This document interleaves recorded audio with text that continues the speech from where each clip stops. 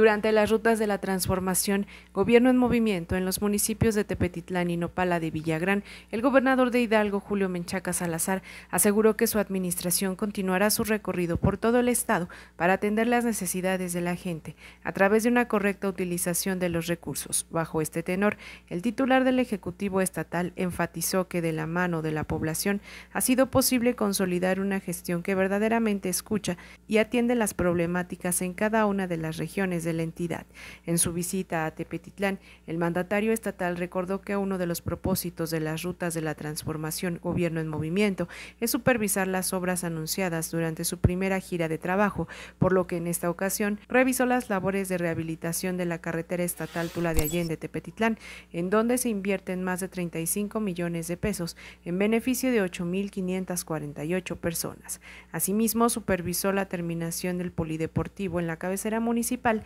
y la pavimentación hidráulica en la calle Galo, en la localidad general Pedro María Naya, obras que en su conjunto superan los 5 millones de pesos y que beneficiarán a 2.300 habitantes. Al concluir, Menchaca Salazar subrayó la importancia de fortalecer los mecanismos de participación ciudadana.